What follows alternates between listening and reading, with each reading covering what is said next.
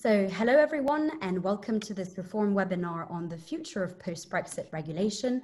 So as we wait for everyone to kind of arrive, um, I thought that I would launch a little poll and get your opinions on a very important question. So I will be launching the poll now. I will allow panelists to vote as well.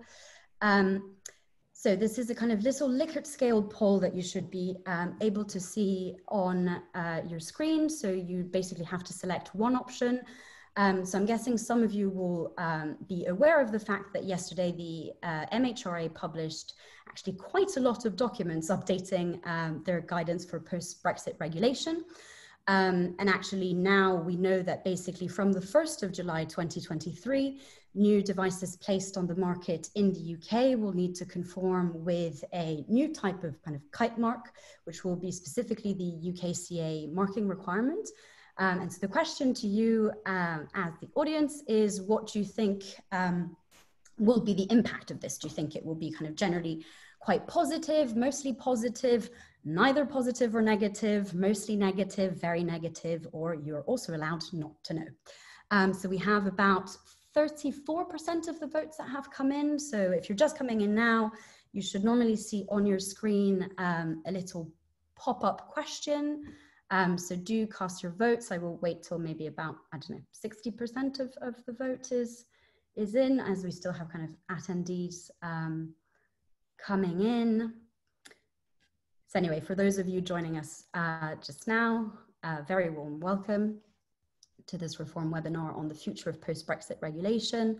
Um, we will be kicking off in a couple of minutes, just waiting for um, more attendees to come in through the platform. Um, and actually, we might be waiting a, a, tiny bit longer than we usually do, just because we have noticed that the Zoom platform, for some reason, um, since they've had their worldwide bug, has actually become a bit slower at letting uh, people through uh, when we did the testing. So we have about 73% of the vote that has come in. And it seems that up until now, people think that it will mostly have a negative impact on the innovation landscape, um, with about 26% of people um, who voted who express a kind of mostly negative sentiment towards um, that change. Um, but we also have about 23 that you know think it, it won't be either positive or negative. I can see a few more attendees have come through. You will see on your screen, there is a little question, uh, which is our kind of very first poll for um, today. So if you can just quickly cast your vote, I will just wait a couple of minutes for that, for those votes to come through. Um, and then I will kind of end the poll and share the results with you. Okay. Great, so we have about 71% of the votes that have come through. I will end the poll now and share the results uh, with you. So there we go. You should be able to see the results come up on your screen. Um, so actually a lot of people don't know what the impact really uh, will be. And it seems to be, you know, kind of um, basically either for those who, who actually do have an opinion on, on the impact, it seems to be, you know, either neither positive nor negative or potentially mostly negative. So we will be talking um, a bit about um, a bit about that um, later on in the event. So you can see the results on your screen. Great. So I will now stop sharing those results um, and move away from the poll. Um, so great. So again, welcome uh, everyone to this uh, webinar on the future of post-Brexit regulation. I'm Eleonora Harwich, Director of Research at Reform, and I will be chairing this webinar today. And I'm really delighted that we're having um, this discussion today as Reform has been very much involved with the debate around regulation and how to create um, a smarter regulatory process. And I'm also extremely excited because we're launching today a new publication which is a reformer thoughts looking at uh, the steps that the UK must take to deliver a kind of more dynamic and responsive um, regulatory system for both medicine and medical devices post Brexit. You can find a copy of this on our website, so please do have a look.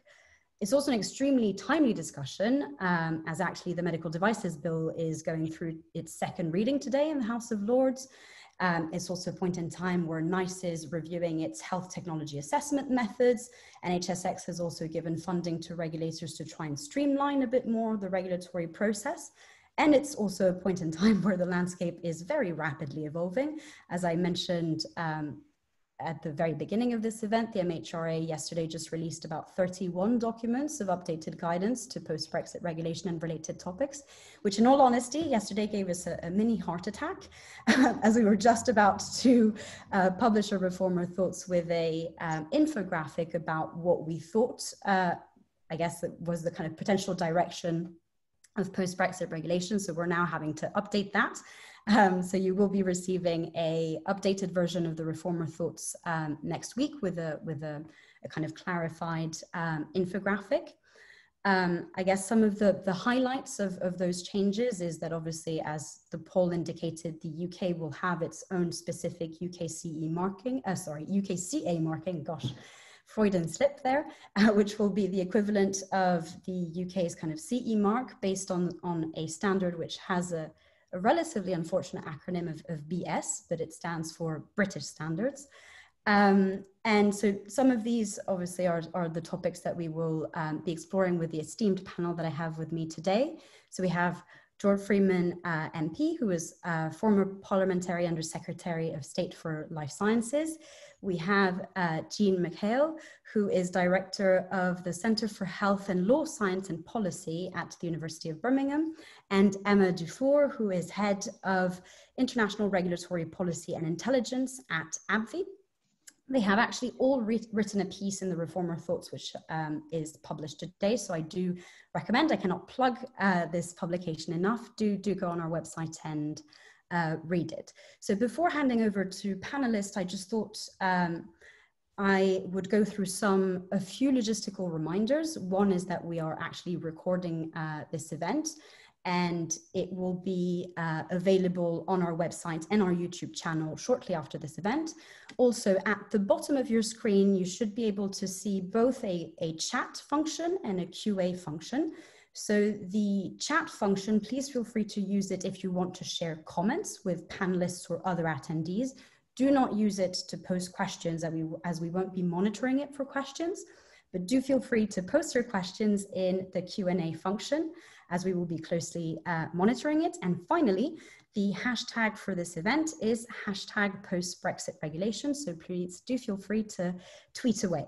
So I will now um, ask speakers to briefly introduce themselves and share with us uh, some of their wisdom on post Brexit regulation.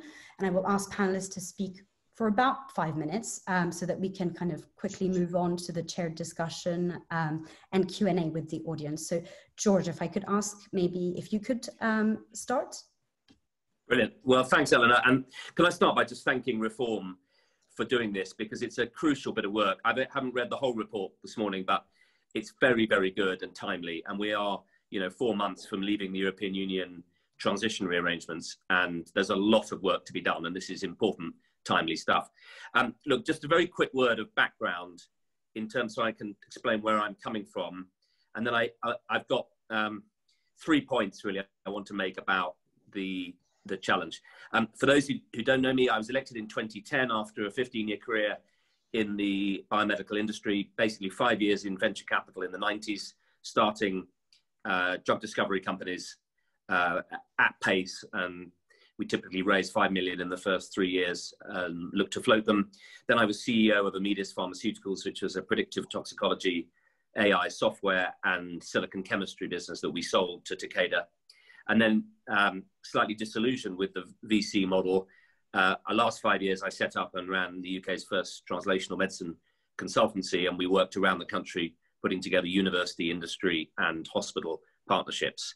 Um, elected 2010 and was lucky enough to be picked up by David Cameron and asked to help frame our first industrial strategy, the life science strategy, and then I became minister for it, was responsible for NICE, the MHRA, the drugs budget, and in fact, we, we won a lot of plaudits internationally for creating that role and leaning in and creating a really bold 10 year strategy. And the, the central gist of that was that I, um, uh, my advice to Prime Minister was that the UK life, well, the global life science uh, landscape was changing fast, uh, uh, not just changing, was being massively disrupted, transformed by essentially genomics and informatics. And that the UK, which already was only clinging on by our fingertips, really, as both a market for medicines, we tend to be a low price and slow payer, which is a lethal combination.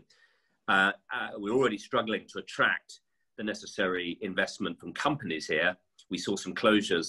My argument was um, we're going to have to lean in and really lead. And let's make a virtue of the NHS uh, and unleash a bold 10 year strategy to be a leader in genomics and informatics and really lead in the uh, genotypic and phenotypic profiling of patients and of new medicines so that we can offer industry the, the most precious gift of all, which is a place to come and do modern medicine development. Uh, and then that opens a whole door to a whole new model of reimbursement. Um, and so I, that's why I launched the Early Access to Medicine Scheme, the Accelerated Access Program. And if Brexit hadn't interrupted, uh, David Cameron and I were planning to launch a whole series of uh, a new approach to digital health. I, have always been skeptical that tipping 4 billion into the top of the NHS would create a digital NHS. And I think we should have take, done it by place and by disease.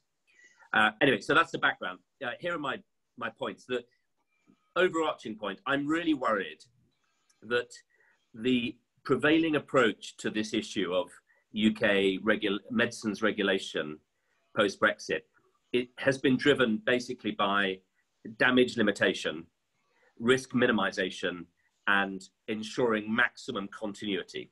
Now, I understand that continuity in the short term immediately is key. It, you know, we, we absolutely don't want to disrupt short term, but I worry that I, the baby's been thrown out with the bathwater, that we're not looking enough at the the, the opportunities for us to really lead a new paradigm of regulation in this new landscape. And I think the, the focus, understandable focus on short-term continuity has led us to not think enough about the possibilities for us to lead in this new landscape outside of the EU. Uh, I mean, I should stress to everyone, I was a very strong Remainer. Uh, I made a film about the UK life science industry. As minister, I felt uh, I was speaking for the sector in being a strong Remainer. But once the people had spoken, I think we've got to make the best of it. And there are three specific things I just close in flagging. One, uh, on uh, genomics, I think we we still tend to think too much of genomics as a as a kind of um, a technological USP. Um, uh, and we're not harnessing it enough in the as a transformational tool in the profiling of medicines and uh, supporting a new paradigm for procurement. So I think if you ask the Department of Business, they'd say our ambition is to be a world leader in genomics, meaning we have a lot of people doing genomics here. But I don't think we're really yet using the power of that genomic insight to break down uh, and segment drug markets well enough to identify patients early enough and to drive new models of reimbursement. Potentially, we could be using our charitable sector to find patient groups and ask and invite them to lead accelerated access and to drive with their charities, drive new models of conditional approval uh, and payment by results. So that's the first point on genomics. Second point on digital.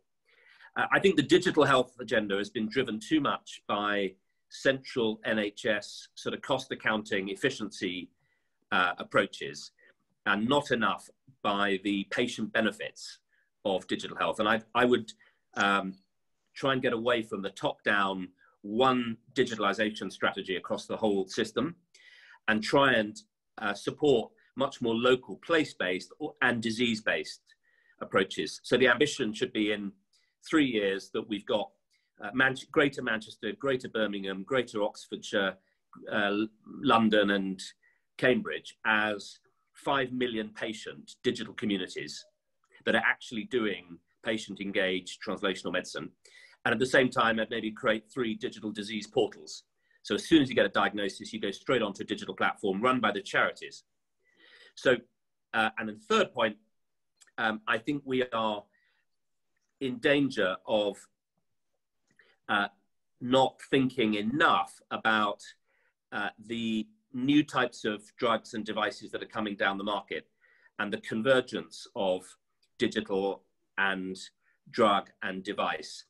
And uh, I mean, the, the good news on this is the FDA have got a far bigger problem. When I went as minister to their campus, they got 15,000 people in seven buildings, seven divisions. One is drugs, one is devices, one is digital. The truth is, they're all beginning to merge much more closely. And I think that from a NICE an MHRA point of view, um, we're going to have to help them to modernize and lead in a new paradigm of regulation um, that is much quicker, much more fleet of foot, and uh, less kind of um, universal and setting out universal rules that apply everywhere mm. and being a bit more flexible and a bit more international. And I'd like both NICE and MHRA to be allowed to raise much more revenue from international consultancy and to digitalize their protocols and sell them internationally. So th- there's my th- there's my three points and one overarching one, Eleanor. Great, thanks, George. And actually, I'll, I'll, come, I'll come back to you about the kind of process efficiency side of things. Um, Jean, maybe on to you and your, your words of wisdom about um, post Brexit regulation. Well, query words of wisdom. Um, and, and, also, as well, I, I, very much want to acknowledge that I'm very much part of a team here in Birmingham um, with my colleagues Laura Downey, Rachel Dixon, and Muireann Quigley in terms of our contribution to the reform report here. But also, my uh, some of my reflections on Brexit also influenced by work we've done with UK and Changing Europe, uh, and as part of another project we finished last year with my colleagues um, Tamara Hervey at the University of Sheffield and Mark Flear uh, at Queen's Belfast. So I'm, I'm very much only, only one part of a, a, a team, for, really for these purposes too. Um, we're in a, a, time of, of change uh, and a considerable time also of turmoil. And I think in many ways it's, it's quite interesting when we look at where we are now in our reactive response to the uh, debates around Brexit as compared with how we were, say, 12 months ago. We're dealing with what are, of course, fundamental questions of, of regulation at the same time as we're dealing with uh, an international crisis in relation to COVID. And this, perhaps, I think, raises the questions of how and what we can do in the short term and the long term about this in terms of how we structure and take forward regulation and innovation realistically.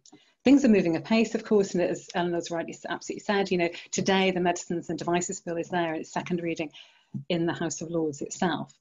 A lot is going on at the moment, but also we're in a situation where we need to think about how we can effectively regulate, how we can effectively regulate too in terms where we still don't precisely know where we're going to be in terms of Brexit, in terms of whether we get a deal or no deal. In, in the second form of iteration of that that we've had over the last year, um, in, in terms of the various mm, agreements that are being looked at at the moment.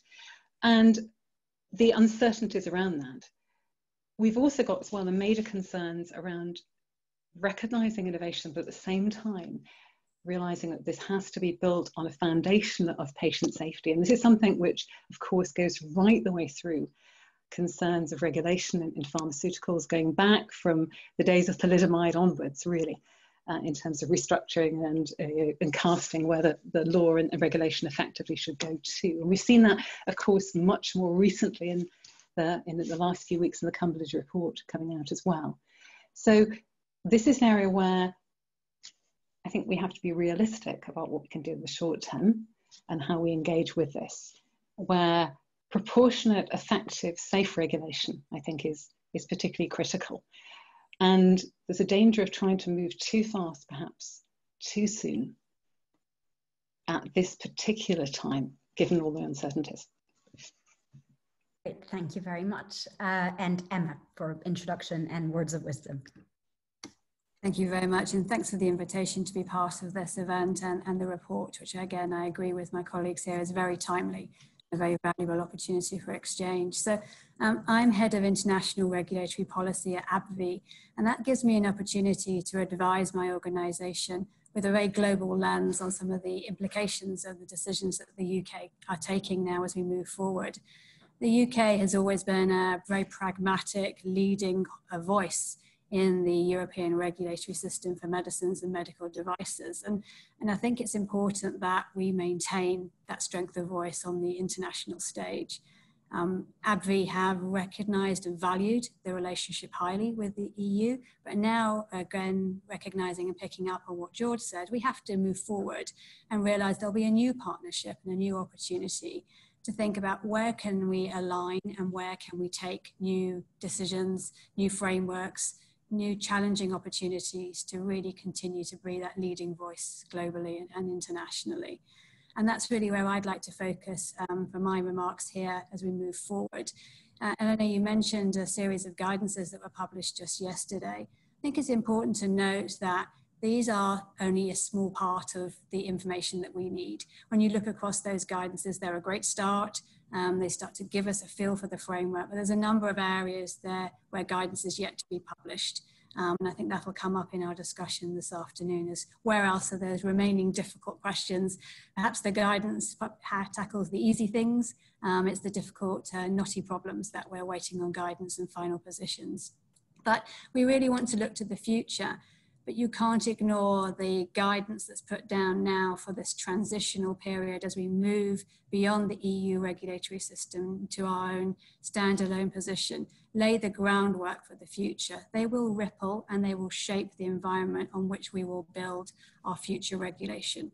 So as we go into this discussion, I really want to make sure there's not unintended consequences from the decisions that are taken now as we transition in order to build that robust framework for ensuring patient safety in the future, but also encouraging that innovation, bringing that leading voice and creating the wonderful ecosystem in the UK, evidence generation and pull through of R&D to medicines that actually reach patients.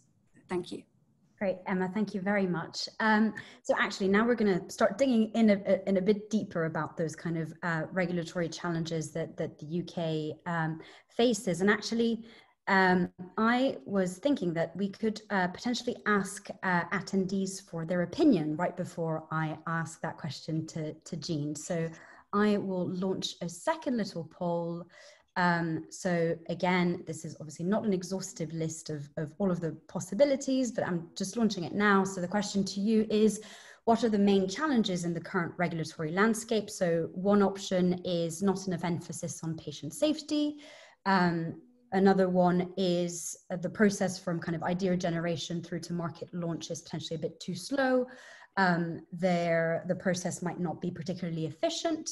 Um, and one of the examples here that is shown is kind of contradicting guidance and the kind of general um, challenge of regulation lags behind innovation. Um, so that you should see a, a kind of little pop-up box uh, pop on your screen. Um, so please cast your vote. You can actually choose uh, multiple choices this time. Um, if so, you don't have to just pick a single one. Um, about 52% of votes that came in. I'm just going to wait for to reach about maybe what 65 or 70 before stopping it and asking you that question um, directly. Okay, almost there. Okay, we're now at about um, 70%, actually over 70%. So I will end the poll um, now and just um, kind of use this as a kind of backdrop to um, the discussion and the question that we will be looking at right now. So really it kind of seems the majority of you think that really it is regulation that lags behind innovation, which is one of the kind of main challenges of the current regulatory landscape. Um, and second to that would be that the process is actually too slow. Okay, so I will now um, stop sharing uh, these results with you. And Jean, if I could potentially go to you to um, kind of ask you to answer that question of what do you foresee as the kind of main regulatory challenge is that the UK faces and potentially specifically highlight some of the issues that you see around patient safety, as I know that that was the topic of, of um, obviously the, the piece that you wrote in today's publication. Yes, so the key challenges are, relate again fundamentally, I think, to that lack of certainty. Um, we still are not clear absolutely where the negotiations over Brexit absolutely will end up. We know that, I mean, in certainly in terms of the intention of the government in relation to the future relationship between the UK and the EU, the idea of facilitating trade in medicinal products and supporting high levels of patient safety is written in there, along with the idea of commitments in terms of a whole range of issues. Now, of course, it takes two to tango in terms of the negotiations and where one actually goes on this. Where we are in terms of what's come out again over the last you know, 24 hours or so uh, is very much putting us back in a way where we were about a year ago, because of course the MHRA were planning in the context of a no deal Brexit. And you know, draft regulations have been put through to deal with the situation of you know, how we would deal with products, etc., and so on up until that time. So considerable planning was undertaken. And then, of course, they didn't need that at that point. We're now moving on to this stage, and this stage is also reflected by, as well, the fact that we've got primary legislation ultimately going through at the moment. So really what, uh, and as Emma's also pointed out, what we've got here essentially is the guidance documents. These are going to be intended to reflect it with regulations themselves enacted on the back of the medicines bill itself. But this also depends upon considerable consultation exercises undertaken about them as well and where they actually get to, all of which will have to be done in a reasonably expedited period of time as well. So in terms of the initial challenges, the initial challenges are, are say, well, what can we actually get in place before the end of transition to mean that the wheels don't fall off the bus, essentially. Um, and so that you know, effective uh, trade can be continued, effective regulation can be continued in that time. So you, in effect, you've got, I think, the immediate challenge period question.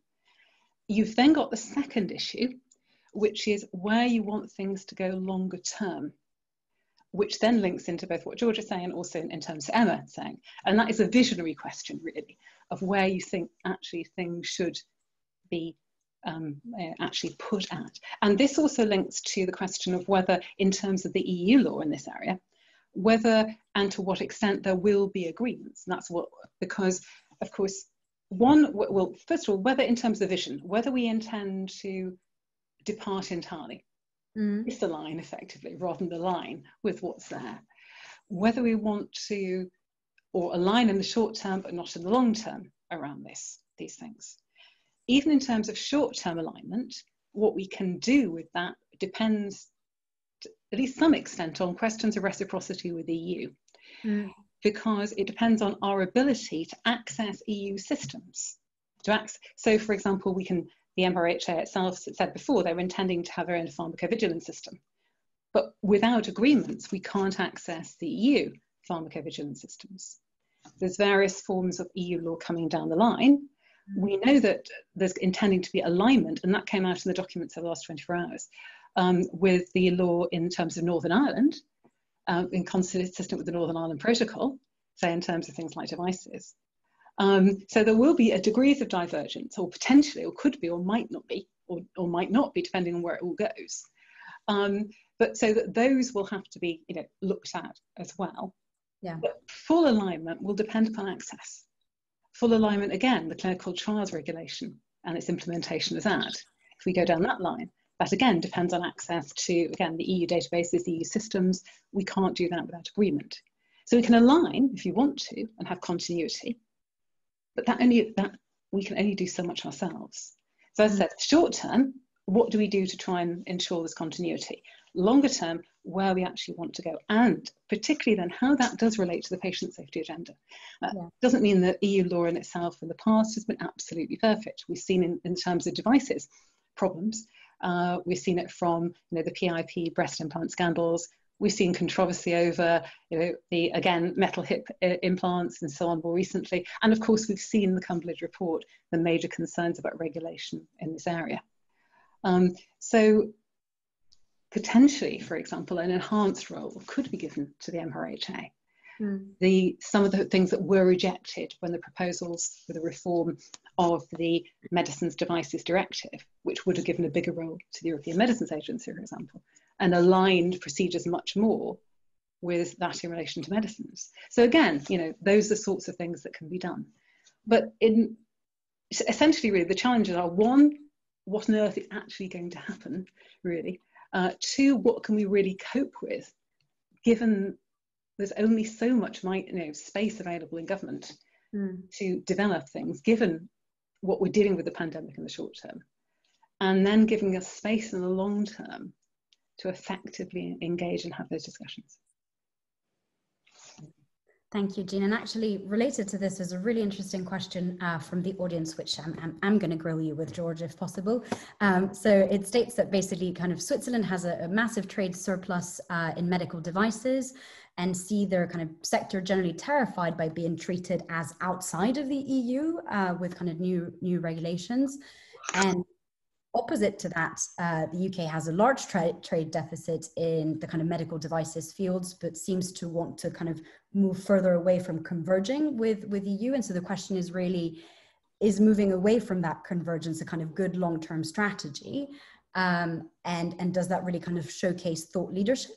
And I guess given the kind of things that you mentioned in, in your introductory speech, I was just wondering, what, what do you think of this? Do you think actually con- not converging can be a very good long-term strategy.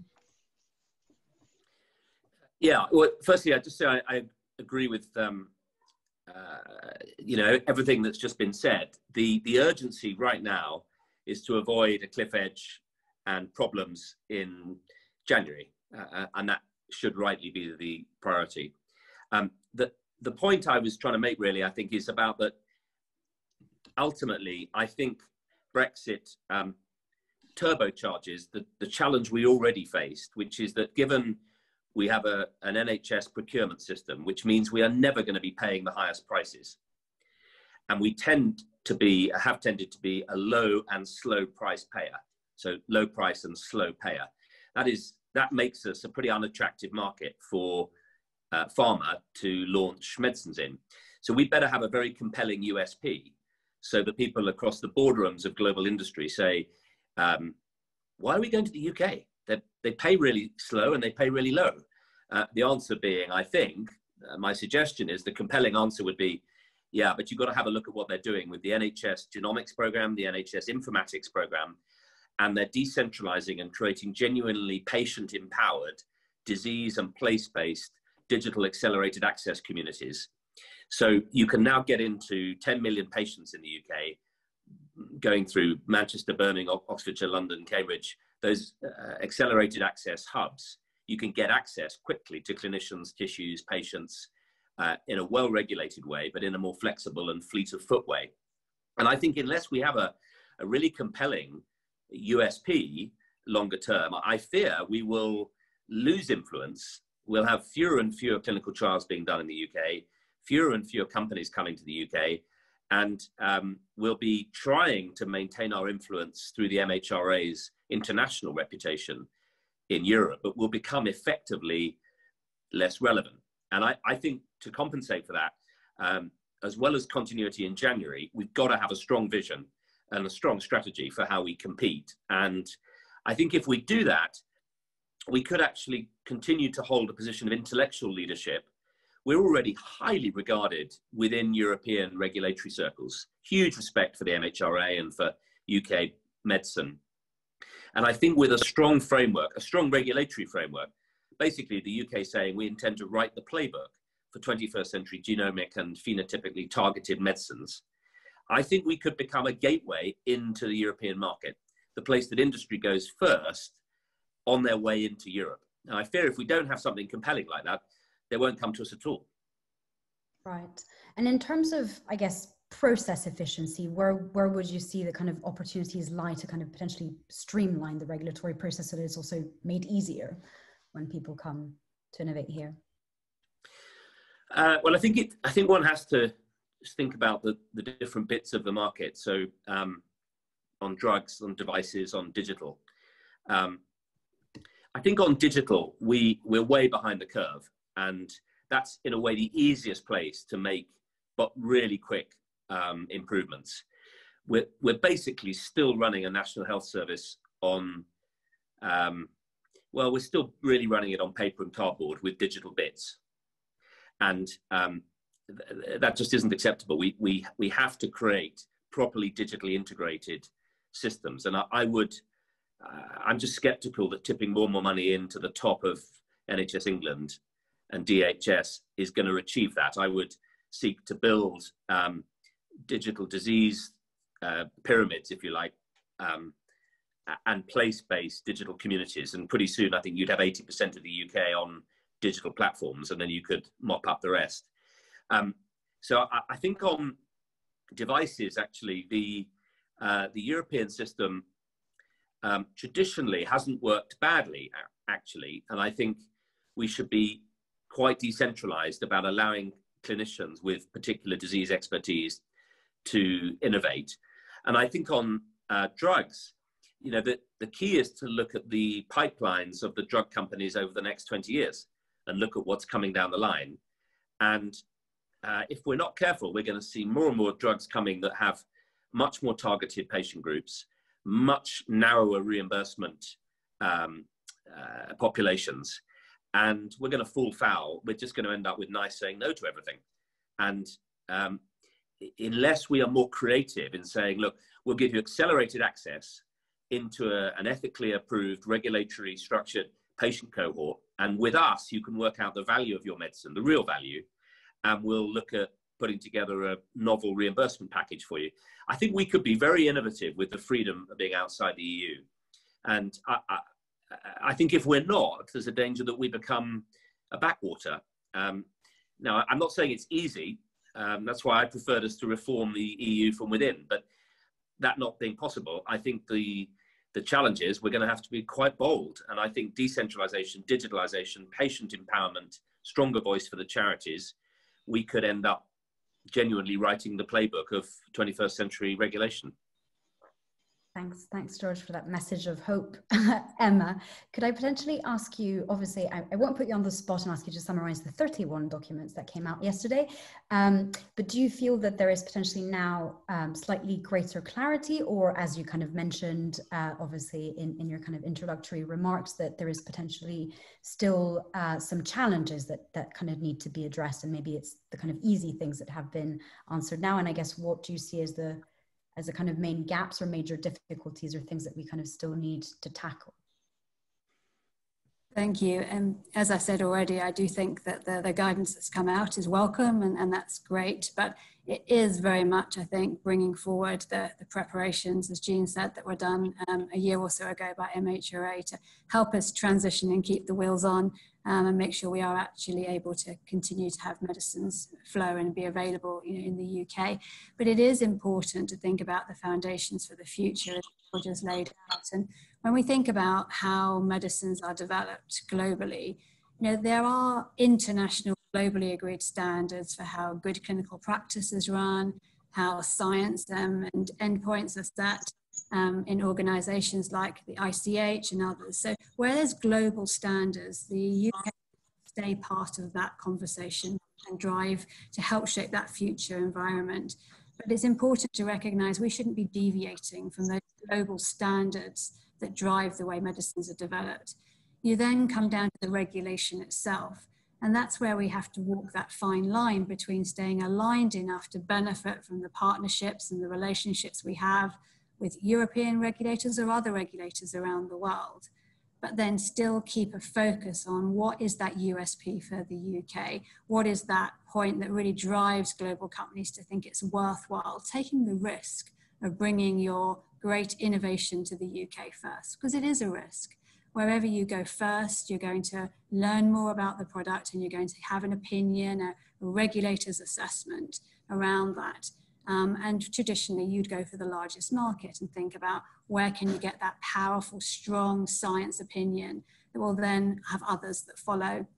And we tend, as global organizations, to go to FDA and, and EMA first. So, why would we come to the UK? Well, then let's think about that regulation around evidence generation, how you can genuinely get that access to insights for your product that show the value that you can bring and then the evidence you generate in the UK is usable around the world to support your global filings and your global uh, launches and markets. So that's where I think we need to go. So back to your specific question, with the guidance that's coming out of MHRA, as I said, it's focused on the transition and ensuring we do facilitate patient access and keep things moving. But it is setting a baseline from which we will need to move for the future. Um, we haven't yet talked much about Northern Ireland, but with Northern Ireland continuing to comply and align with the European pharmaceutical acquis, the, the regulations for Europe, um, it will be important to think about what that means for Northern Ireland patients and GB patients and ensuring that all can continue to access great innovation. So the guidance to come, um, I think, is very, very important around clinical trials, movement of investigational products, ensuring we can drive research in the UK and not put unnecessary administrative barriers in place. Thank you, Emma.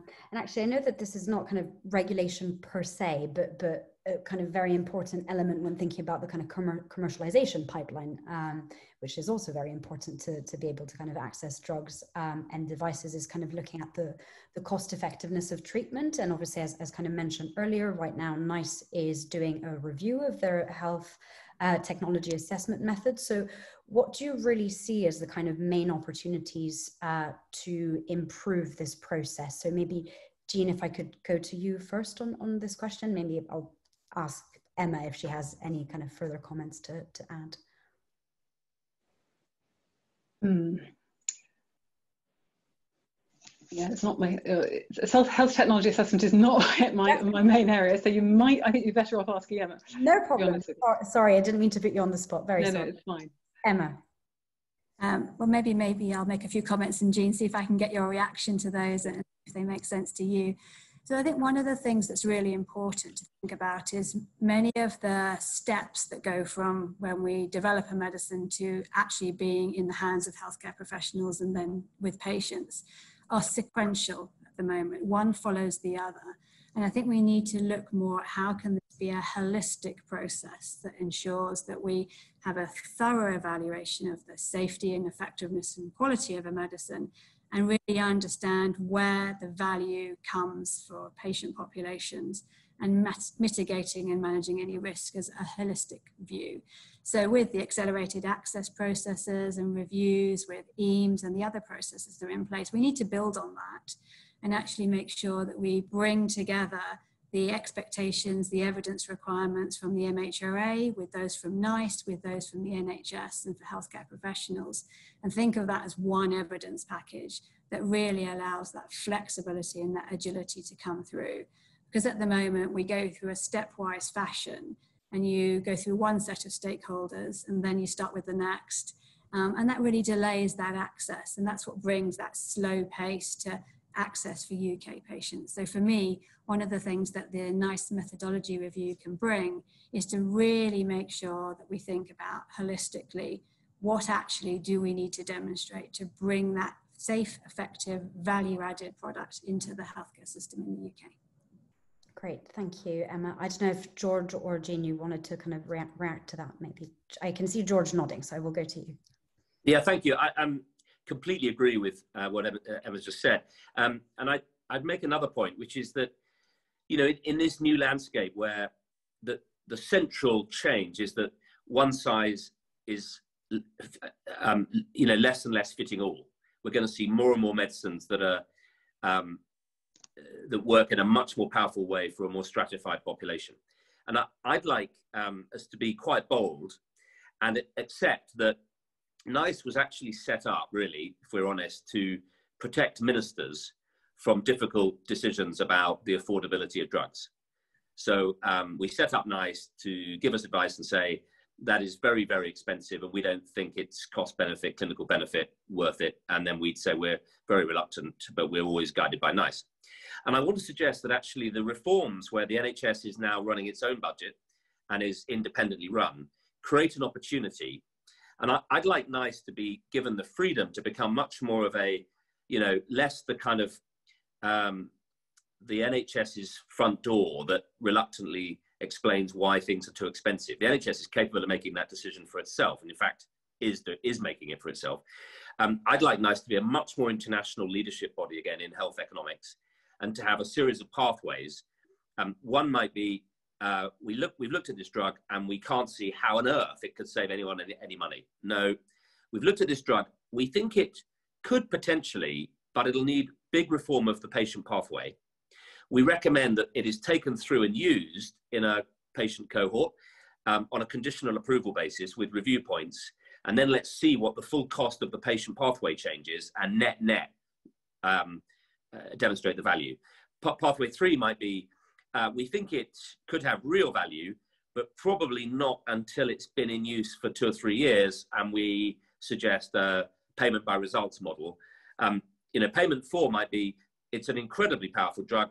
It's not very good for the NHS because we haven't got big enough budgets to afford it, but other healthcare systems might well have more money.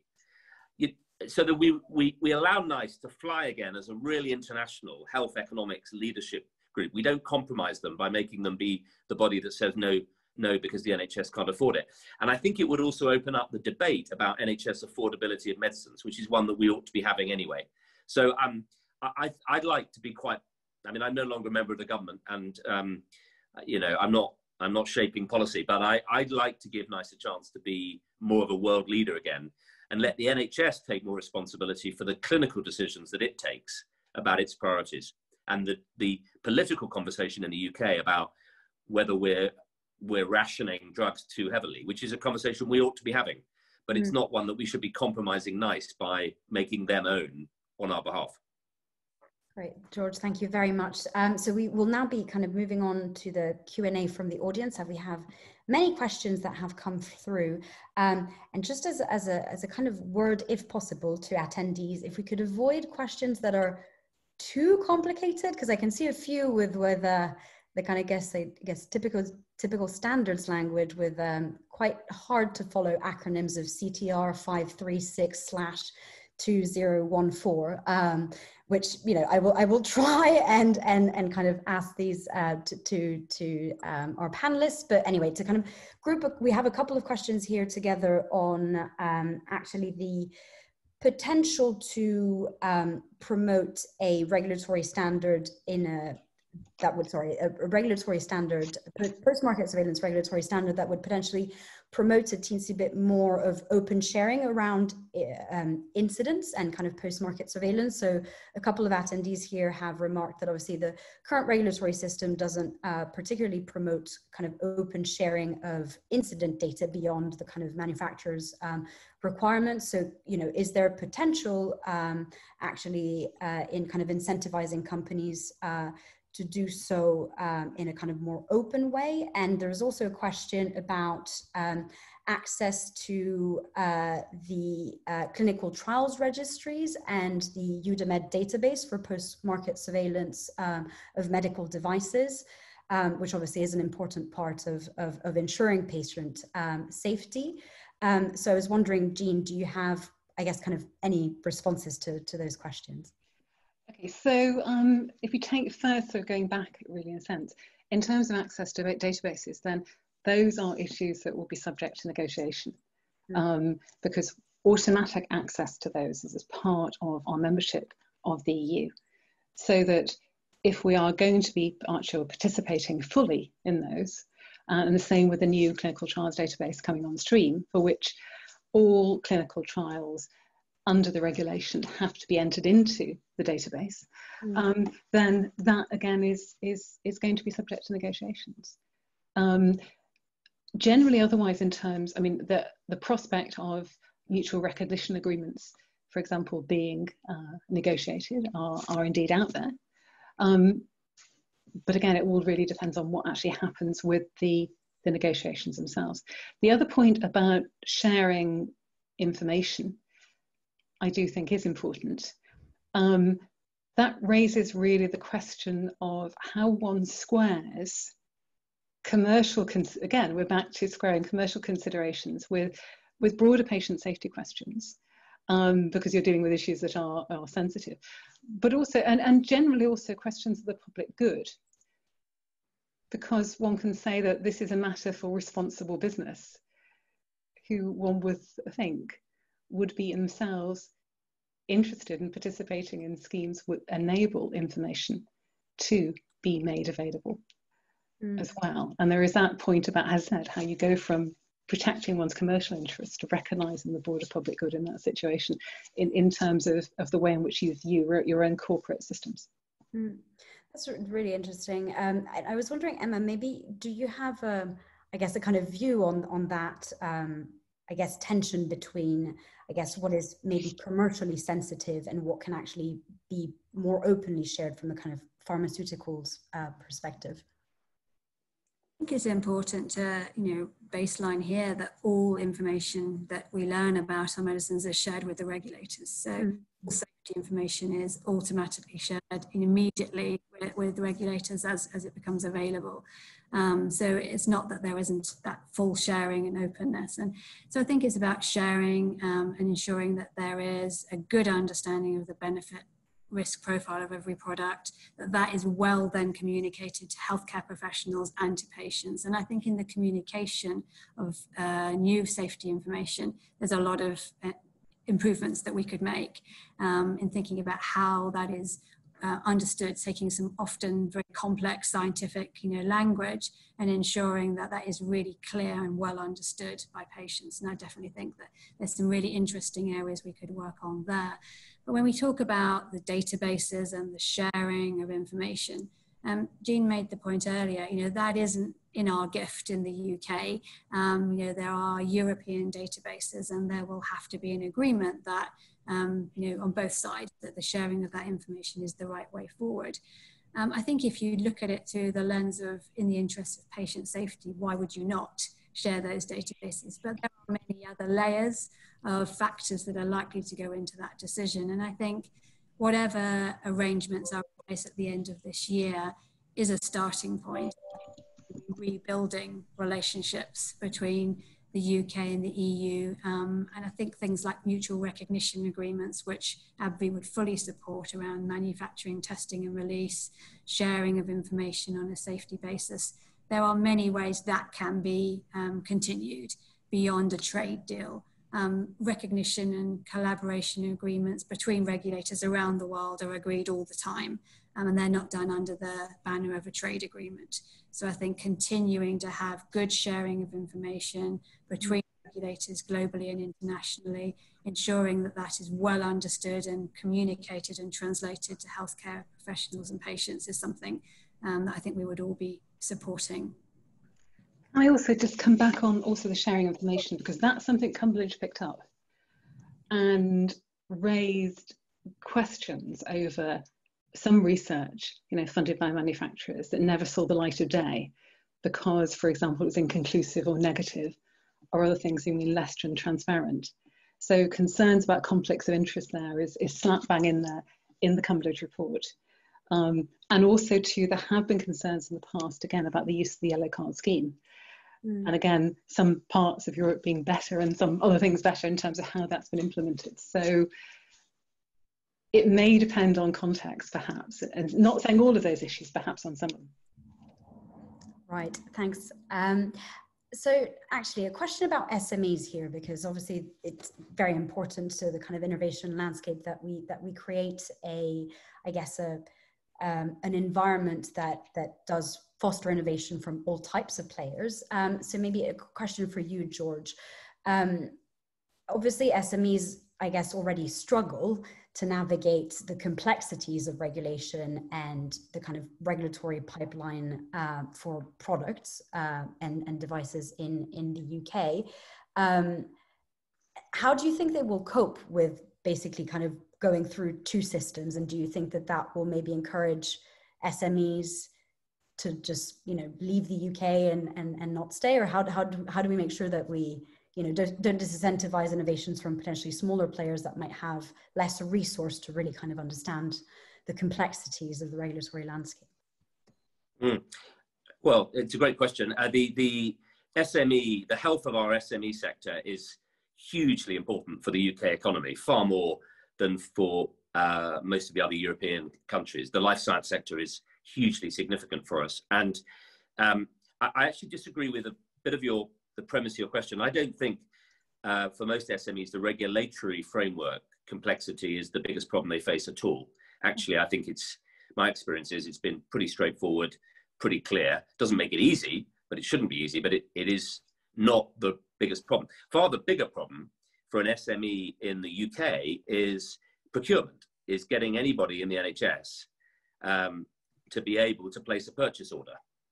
And there are, I mean, I could bore for Britain. I, I mean, I will one day, you know, on um, how many examples of brilliant innovation in the UK, um, not just drugs, but uh, right down to, you know, brilliant ideas from nurses for reducing ulcers and, and hot innovations that have come out of the system that there is uh, very little mechanism traditionally for a, an individual hospital or a group of hospitals to be able to place a purchase order. And one of the one of the problems actually of the kind of um, uh, centralization of procurement for efficiencies is that that's got harder.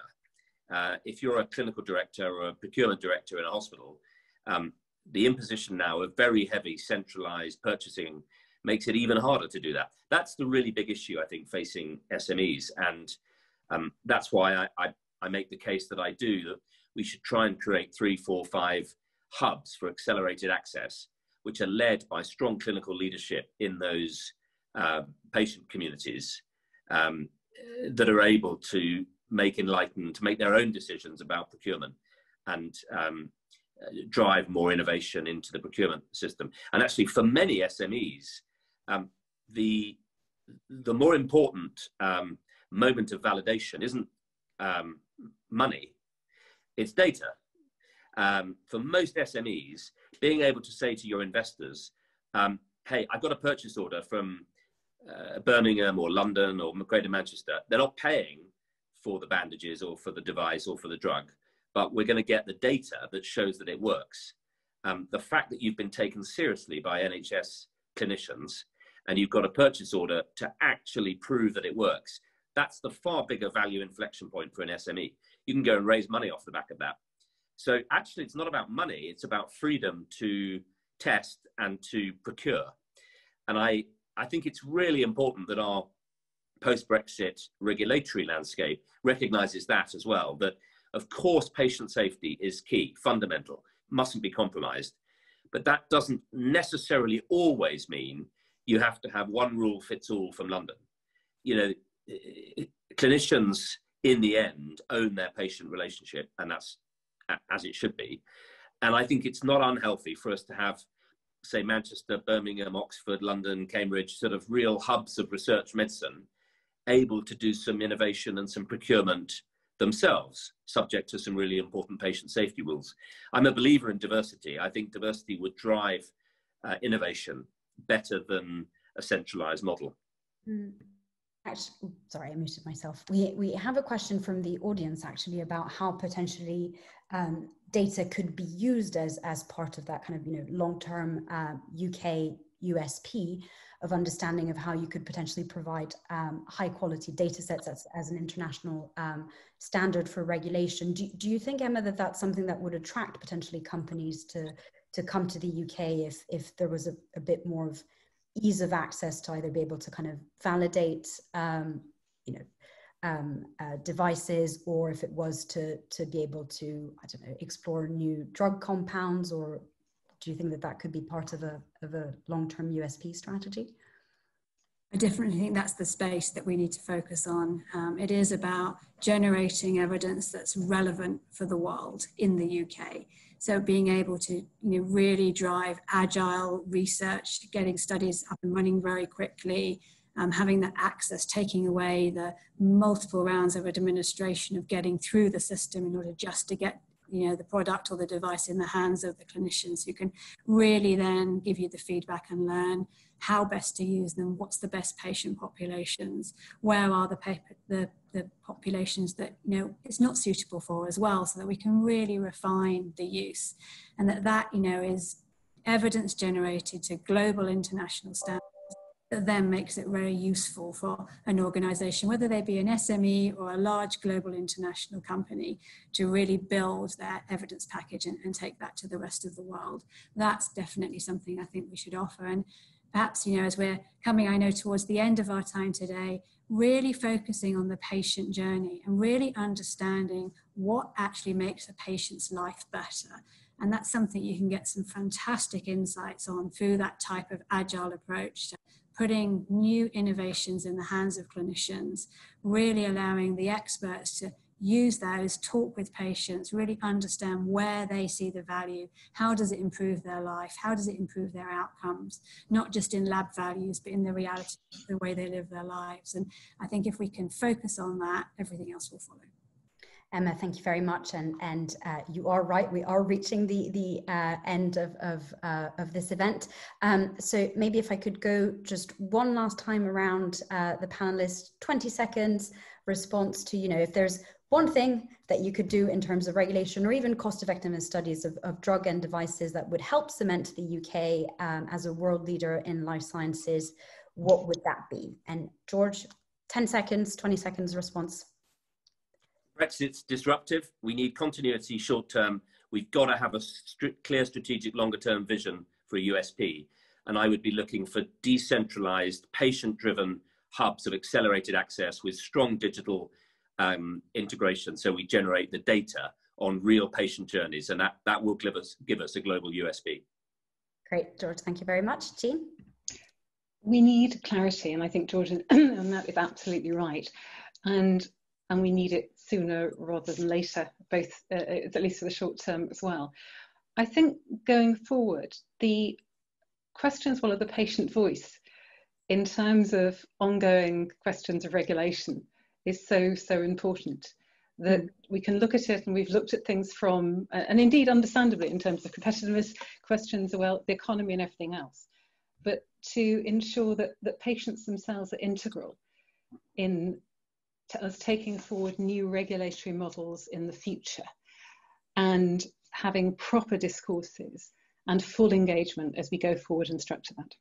Great, Jean, thank you very much. And Emma, for you, last 10 seconds. Thank you. Um, I think it's about invest in the life science sector, make it a really attractive place to come and do your research. And in order to have a robust, you know, vibrant uh, life science industry in the UK, invest in the regulator. A strong regulator is a really valuable element of a robust R&D system. Um, and if we get that journey right, understanding, um, I think that strong regulator, invest in the life science sector, and uh, that will be, you know, the key to success. Great, Emma, thank you very much. And thank you again to all of our panelists, to our attendees, and thank you again to AbbVie for supporting um, this event. I know that many of you have asked plenty of questions that we didn't have time uh, to address, but I'm unfortunately due to um, time constraints, I'm gonna have to bring this event to a close.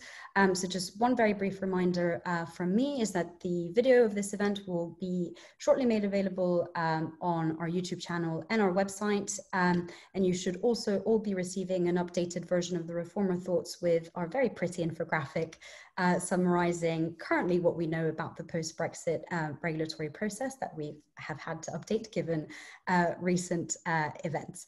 Um, so thank you very much for joining us today, um, and I will now bring the event to a close. Thank you.